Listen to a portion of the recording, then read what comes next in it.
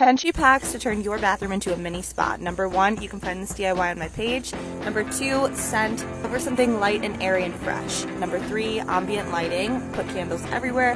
Number four, use rolled up washcloths for towels. Number five is one of my favorites. Use a decanter for your mouthwash. It saves space and it's so cute. Number six, out with the old, in with the new. Uniform and labeled bottles are really going to elevate your shower space. Number seven, I'm obsessed with this bamboo floor mat. Number eight, use one large rug instead of the small ones. Number nine, rope your towels so guests can find them easier and it saves space and storage. Number 10, of course, a hanging rope.